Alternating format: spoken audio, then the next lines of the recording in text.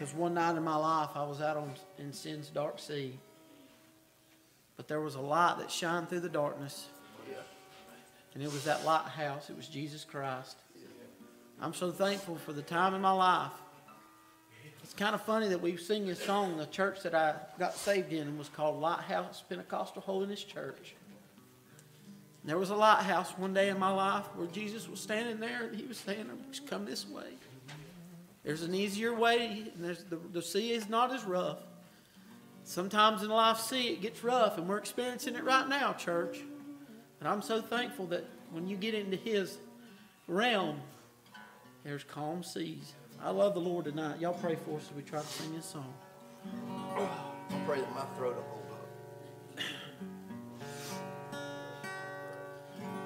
There's a lighthouse on a that overlooks life's sea. When I'm tossed, oh, it sends out light, light that I might see. And the light that shines in darkness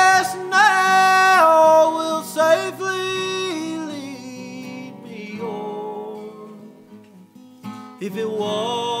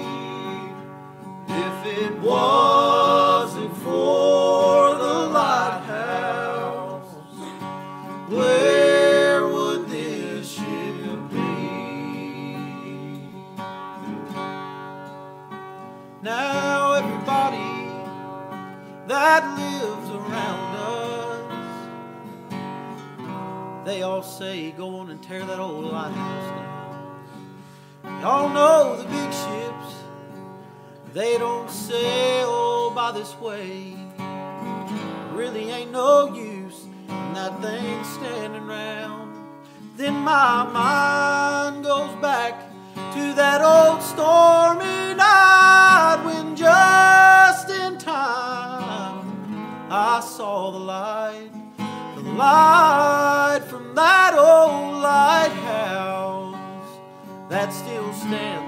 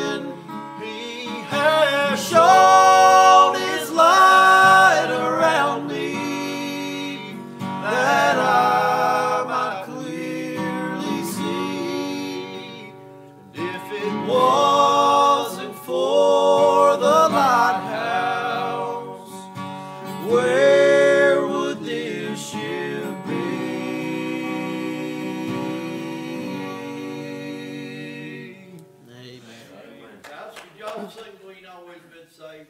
Sure thing. please? Amen.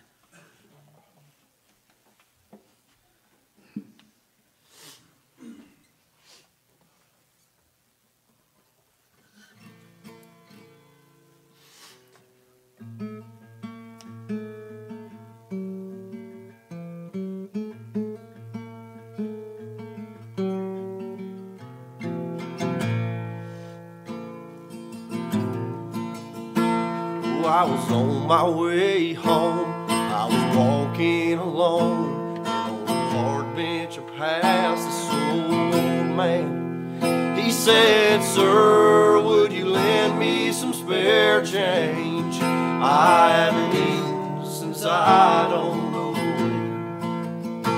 The first thought in my mind was, I won't get high. So I spoke up and said, I'm sorry, my friend. And as I turned to walk away, I felt God's Spirit say, You were once lost just like Him. Oh, but look where He brought us from and where we would be if not for the blood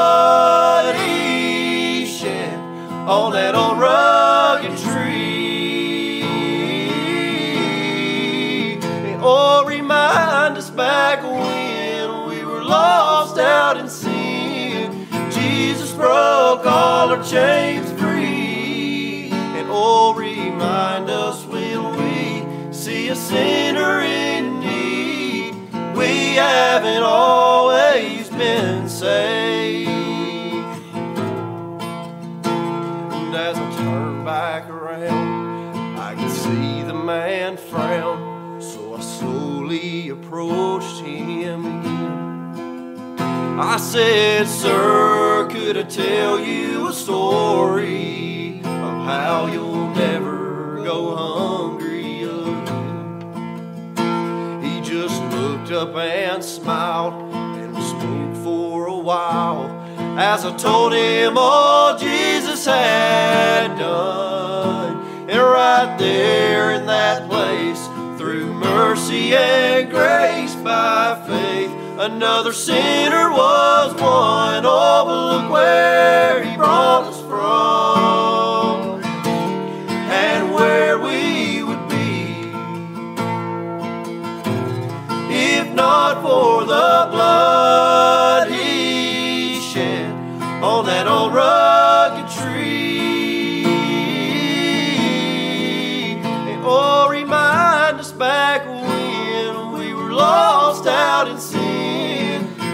Jesus broke all our chains free. And oh, remind us when we see a sinner in need. We haven't always been saved. Amen. Praise the Lord. Anybody else tonight? Something on your heart, anything?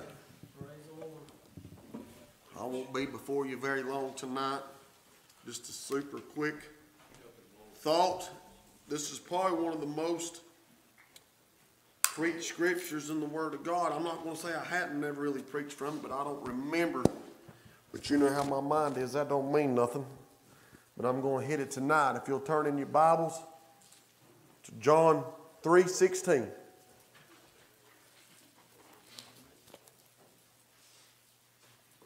When you find that, if you'd stand for the reading of the word. Boy, it sure felt good to ask Levi to lead in prayer tonight, did it not? Amen. Thank God for His saving grace and His mercy. That's why we're all here tonight. If you're saved, it's God's saving grace and God's mercy. Amen. You find your place, say amen. All right. For God so loved the world that He gave His only begotten Son. Now, there's a lot of versions leave out some of this, but I'm glad the version I got tonight that calls it His only begotten Son. That means that is His Son from Him, that is His beloved Son. That is the one and only Son, amen. He is in the Trinity. That's who He was. That's who He was, amen. And I don't believe, I believe you go to leaving stuff out of the Word of God, you're going to get in some big trouble. Ever in, if I'm going, let me run a rabbit here. I done go, I ain't even got half a verse out. Amen. Here I'm going. The book of Revelation tells us over in that book, and I don't think God uh, puts any more emphasis on that book than any other book, but it says, if any man add to or take away from this book, he said, all these plagues will be added unto you. Amen. Uh, if somebody, if I'm sitting here talking about my youngins who I love with all my heart, and I write something about them, Avery, and you come in there and you start taking out some adjectives and you start taking out some narratives about my youngin', I'm going to be upset with you. I say, that's, that's my beloved youngin'. I don't want you to go in there and just say, hey, that's my youngin', amen. But it was his only uh, begotten son. And he said that whosoever believeth on him should not perish, but have everlasting life. You can be seated. I want to preach for just a very short minute right here on the love of God. On the love of God. And uh, the world, you heard me say other night, about got started on this. The world is looking for something. Uh, the suicide rate is up in alarming numbers. Uh, drug use is up in alarming numbers. Alcohol abuse is up in alarming numbers. Uh, people having affairs uh, in their marriage is up in alarming numbers. Uh, people having premarital sex uh, is up in al- alarming numbers. Oh, you say, preacher, that's pretty plain. You ought not say stuff like that out of the pulpit. Hey, that's what's wrong with our churches now in the world now. If people don't want to call it out, but that's what's wrong with us. Uh, we are living in sin and doing things that we ought not do, and people don't want to call it out. But Jesus Christ sent His Son into this world uh, to show us uh, what love is. Amen. And without Him, we wouldn't even know what love is. The Bible said God is love. Amen. And we see that Jesus Christ, uh, He first uh, love me and you. But the world is looking for something. Uh, you can take the meanest, uh, wretchedest person in the world, Tanner, and they can tell you that they don't care if nobody loves them. Uh, they can tell you they don't care if nobody likes them. Uh, but Stephen, they're lying to you. Everybody in the world wants to be loved. Uh, they want to be uh, felt res- respect for, and they want to feel a, a, friendship. And a lot of people who don't, they turn violent and they turn mean, even unto themselves. so, but you know what? A lot of them's looking for all this stuff in all the wrong places and when they can find exactly what they're looking for is their Lord and Maker and Savior, uh, Jesus Christ. He's the only one that can fill that hole. Uh, you can't have enough affairs uh, to fill that hole. You can't drink enough alcohol uh, to fill that hole. Uh, you can't take enough drugs uh, to fill that hole. you can't buy enough goods of this world to fill that hole. There's only one thing that'll fill that void in your life and that absence of love, and that's knowing Jesus Christ as your Lord and Savior and your King and King, and He'll fill a place in your heart that nothing else in this world can. Amen. I've been lucky uh, one of my friends, I won't call his name, uh, but he's told me, he said, uh, he's my age. He said, I know that my mom and dad love me. Uh, he said, but uh, he said, they never told me one time, even as a little child. He said, they never put me in the bed and said, Good night, son, I love you. He said, they never said on Christmas, Well, Merry Christmas, son, I love you. He said, Not one time in my whole childhood did I hear somebody tell me that they love me. Man, that's a sad childhood to me, amen. And, and I can see it in his life. I can see that that affects people. I used to be kind of hard, David, and still sometimes I am, but people would come up with a sad story because how their life was, and they'd say, Well, I was abused as a child, or, or I, I wasn't showed love as a child, and I'd be like, Oh, that's just a crutch. Uh, uh, that's just a crutch. You a, you a grown man. You can do what you want. But boy, I look back since I've been in the ministry a while and counsel folks, and I was dead wrong. So, anybody that I've ever said that to, I apologize to you uh, because it has a huge effect on your life. If you're not shown love, amen, uh, then you don't know how to show love except for Jesus show you uh, how to do that, amen. He said to pray for those uh, that despitefully use you. Now, is that natural? Is that normal? No, it's not. It's our, it's our flesh. Uh, we want to lash out. I've had to deal with that this week, amen, help me, God, and forgive me, Lord, for some thoughts and things that I've had on my mind. Or somebody says something to you, or somebody kind of does your family dirty. Uh, that old flesh wants to rise up in me. But you know what my Bible says? Uh, the Bible, I begin to get in the Word, and the Word of God rebuked me. Amen. It rebuked my words, it rebuked my feelings. And God said, No, that ain't how you do it. It's easy to love somebody that's a loving on you. Amen. It's easy to give uh, when somebody's a giving to you. But you see, that ain't to love love that God showed us, amen. Uh, when you go out on a date and you see some girl or boy that's uh, beautiful, or you think you can't live without them, and you get to go on a few dates and, and they're good to you and, and you're good to them, and you kind of like each other at first, and, and then a few months down the road, uh, somebody gets the courage up to say, I love you. And man, you're just scared to death they ain't going to say it back to you, amen. And, and then you fall in love with one another, and because this one loves you, uh, you love her, and you're good to each other. That ain't the way it worked with God, amen. Uh, he loved us while we were yet sinners, the Bible said. Uh, when we was unlovable, uh, Christ loved us. And it's easy for us to love somebody, a Scott that loves us. And it's, it's easy for me to love Scott Pageant, amen, because Scott Pageant is as good to me as anybody I know. Uh, he's easy for me to love. But you know those ones that despitefully use me? Uh, let me just slow down. If I'm good back to Scott, I know Scott appreciates that. But you think God looks down on me, Andrew, and patting me on the head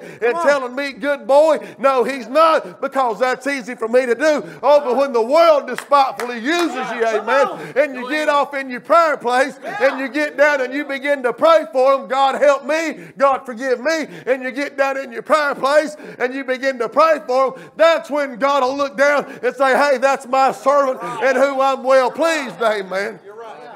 God loved us when we didn't love him.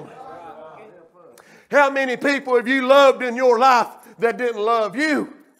I'm lucky, amen. My mom and dad told me they loved me uh, 17 times a day. I'd have to go in there and wash my face, or my mama kiss all over me as a little old boy. Uh, they showed me exactly what love. I raised up in a house where my mom and dad didn't fuss and fight. I mean, if they was about to argue a little bit over who was going to go out to eat, me and my sister was in a panic. I thought, God, they going to get divorced. I thought that was a big old deal of them just having a dispute, amen. I growed up in a good house like that, but you know what? By me seeing that love, Brother Allen, I know how to love. Amen. I'm a loving kind of person. Hey, I told Steve another day, I said, I'm glad some of these men don't get aggravated. I'll just pay it on Avery's wife, and I'll just pay it on Andrew's wife. I'll pay it on Stephen's wife. I'll grab these. I had Everly up a while ago, a slobbering and kissing on her neck. I just love these little old young. I'm a loving person. You know why? Because that love was shown to me. But you know, there's some people that don't know how that feels. By God, I can't imagine how bad that would hurt uh, to love somebody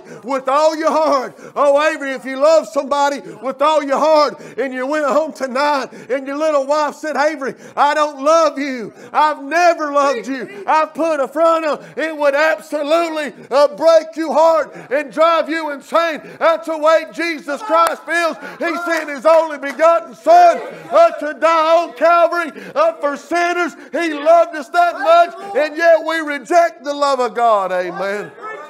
I don't know what that feels like, but Jesus knows how that feels like. You say, oh, he's God. He might be God, but he's man. He walked this earth just like us. He was tempted in all points as all men, but yet he sinned not. He was tempted by the devil uh, for 40 days. Amen. The devil took him up on, on the mountain and said, cast yourself down. He said, don't you know you don't tempt uh, the Lord thy God? He went through some things just like we did. Amen. And he loved this world and they rejected him. Uh, they hated him. So when we feel that way, like the world hates us uh, for being Christians, he said, hey, they hated me before they hated you. Amen.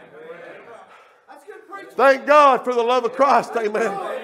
My Bible tells me that no greater love than a man lay down his life for his friend. I'm glad I'm a friend to God tonight. Amen. If you're saved tonight, are you a friend to God? Uh, no, you say, hey, well, I, I worship my youngins. I do. I kill a man over my youngins in a hot minute. You do something to one of my babies and you hurt one of my youngins, Angie, I will absolutely blow your brains out. I will go home and lay my head down. I will not ask God to forgive me. I won't repent over it. You harm one of my youngins. Uh, that's what God expects me to do, uh, to take care of my family and protect them. Amen. But as much as I love them, uh, there's a God in heaven uh, that loves them more than I do. I can't even comprehend that, Scott, because I, if they're out late, uh, Riley's 16 years old, uh, she'll want to go somewhere. Don't give me a lick of trouble. And Kim said sometimes you're a little bit too hard and you're a little bit too strict. Uh, you know why, brother? Because I love her with all my heart. And when I get ready to go to bed, if she's not in my house and under my roof, I can't lay down and go to sleep,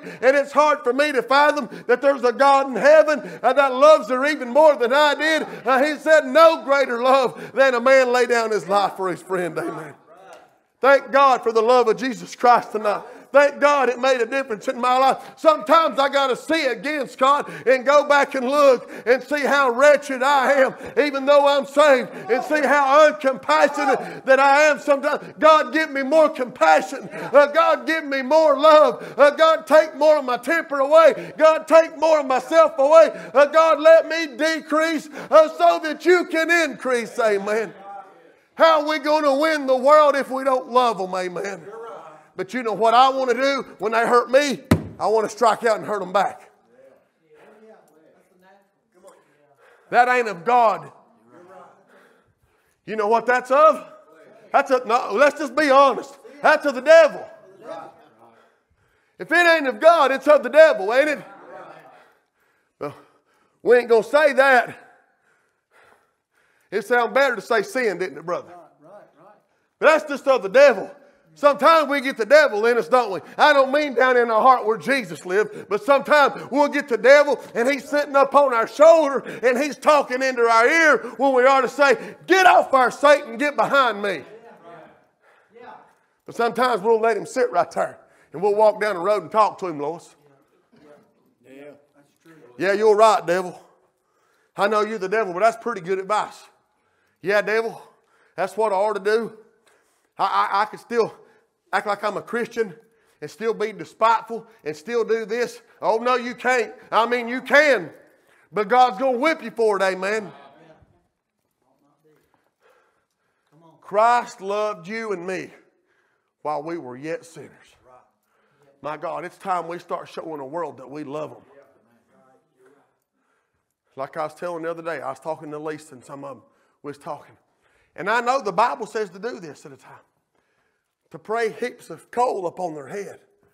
Sometimes I'll just say, God, just go love them to death. Because I'll think that they need this. Or I'll think they're out because of this. When they might be out because of something way else. They don't need no chastisement. They don't need condemnation. They need love. They need compassion. That's what Christ showed us. He said, I come not into the world to condemn the world, but to what? Save them that which was lost. Thank God for the love of Christ. Amen.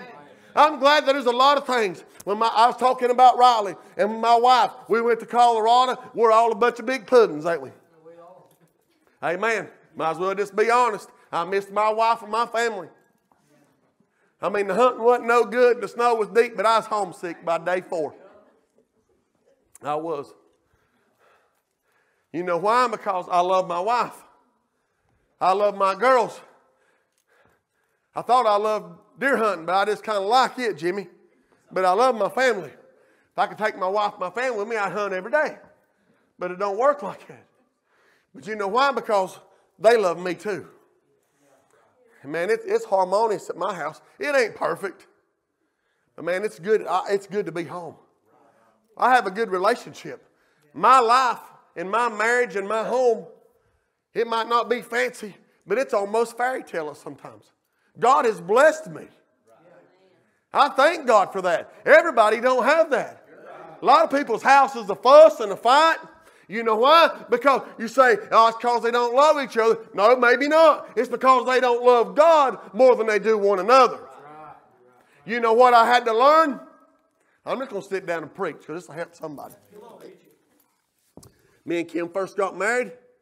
We come to church. She wasn't saved then. She got saved. We was young. We was young parents, young newlyweds. I was hot tempered as Philip Ogle. That's bad. It's bad, ain't it, Dale?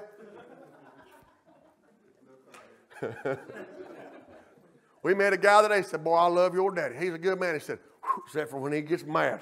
He said, "I don't want to be around Phil when he gets mad." I used to be the same way. Me and my wife, little old bitty fuss, wasn't nothing, Stephen. But you know what? I wasn't going to back down an inch. I'm the man of the house, and I was going to have the last word.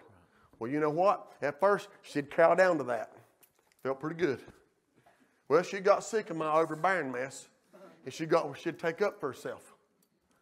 Then that caused the fuss. Then she realized she wasn't going back down, and I wasn't going back down.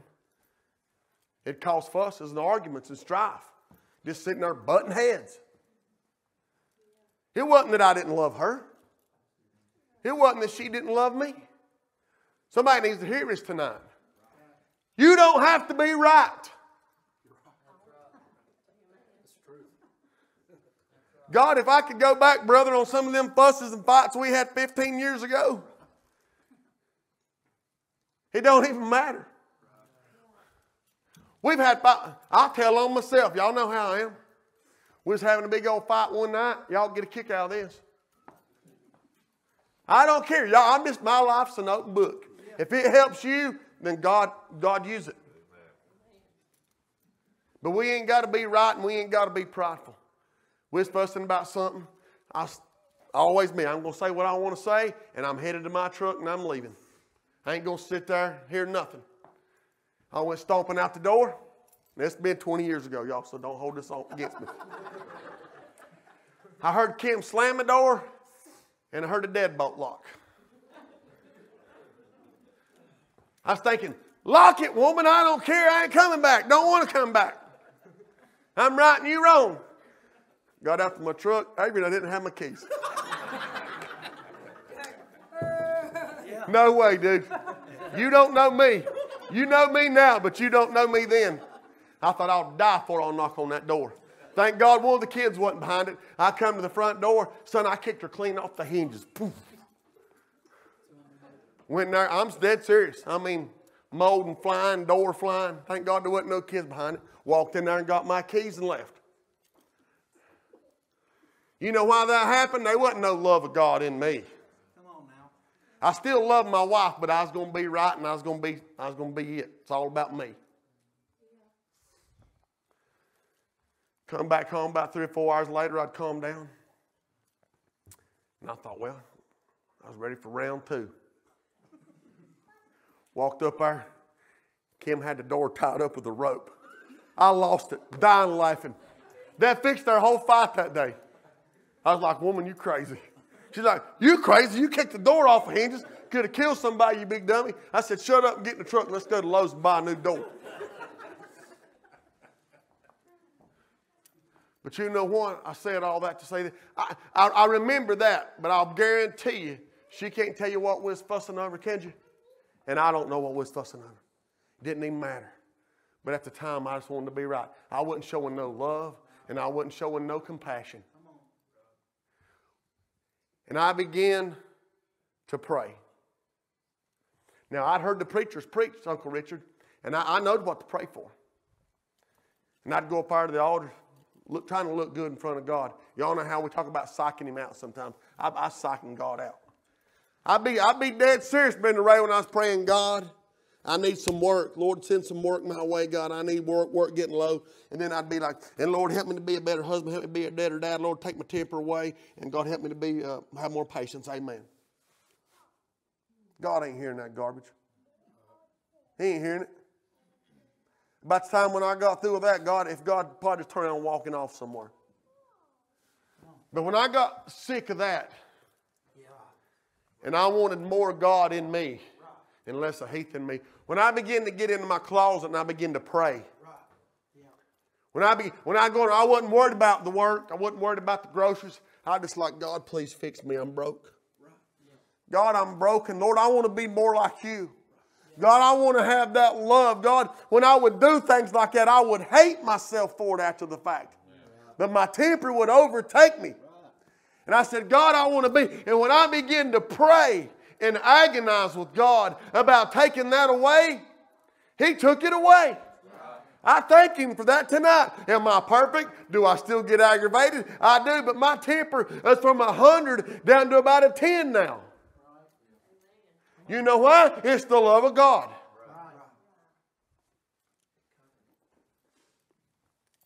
Love covers multitude of sins. But you can't love yourself more than you love God. Amen. You can't love your family more than you love God.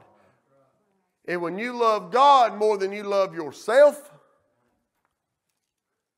then you'll see a change in your life. that's unreal.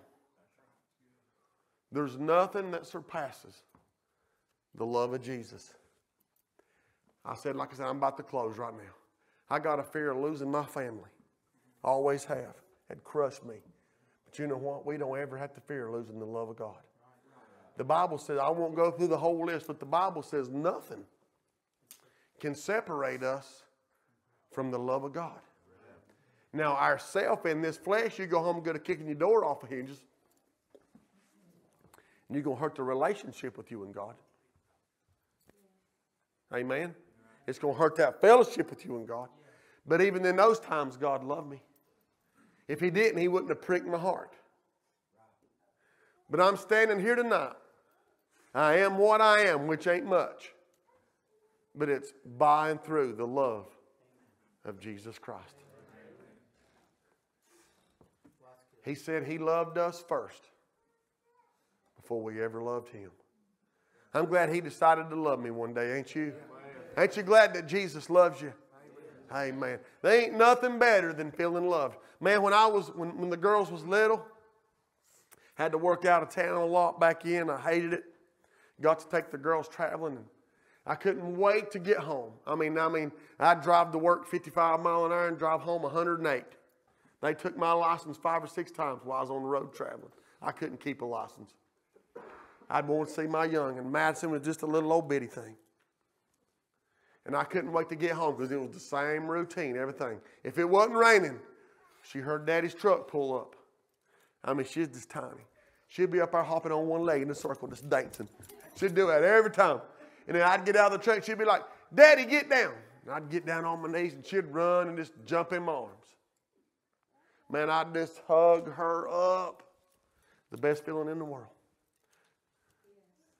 But see, I know too what it's like when I'm feeling down and out. Sister, when I feel like God ain't nowhere around, I feel like I'm just as low as I can be. And all of a sudden, God will come over there to me. And He'll just grab me and just hug me. Tell me He loves me. Yep. I ain't never going to leave you. I Right. ain't going to forsake you. I'm going to go with you all the way, even to the end. Anybody know what I'm talking about? Amen. God just come by and you just feel the Holy Ghost just hug you up.